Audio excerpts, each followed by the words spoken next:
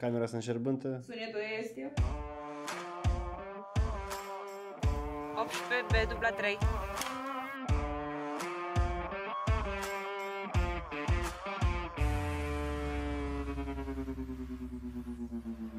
M-a cointeresat acest proiect și mi s-a părut destul de interesant, mai ales că a fost uh, inițiat, uh, pe urmă implementat cumva de un grup de tineri foarte ingenioși care, de la mai multe idei, fiecare cu propunerile sale a venit și până la urmă s-a ajuns la un scenariu de film.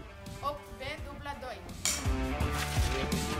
Noi am pornit de la ideea unui om blestemat să fie fericit în Moldova și mai apoi am ajuns la un om blestemat să-i fac pe alții fericiți. Adică dacă ești tu fericit, sunt și alții, dacă sunt alții, ești și tu. Domn Petru, bună dimineața!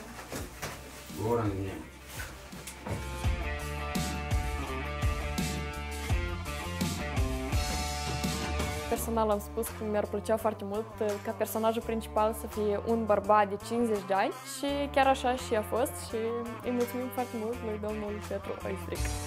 Dar dacă dau eu interviu, asta e faptă bună? Ca un actor profesionist să facă film cu toți ceilalți actori din film care nu sunt profesioniști. E o chestie foarte interesantă. La un moment dat chiar m-am trezit că doamna zicea, păi stai că domnul n-a zis, adică încerca și ea cumva să se îndreptățească, ea n-a greșit, eu am greșit.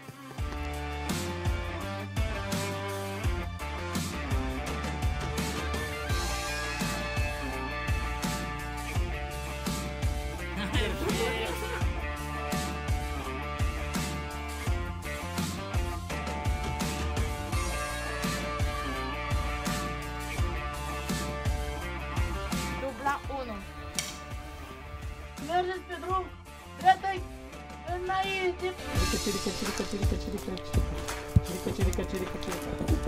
Sub stele, partea a doua. Cetățeanul Petru. Momentul partea a doua.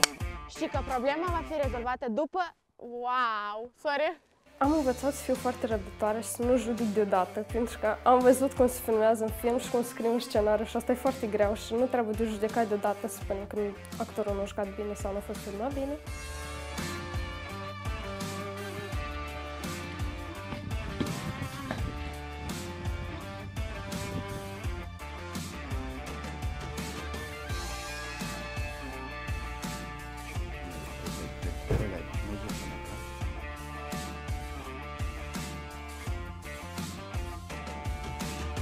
B dubla 4. 10 B dubla 3.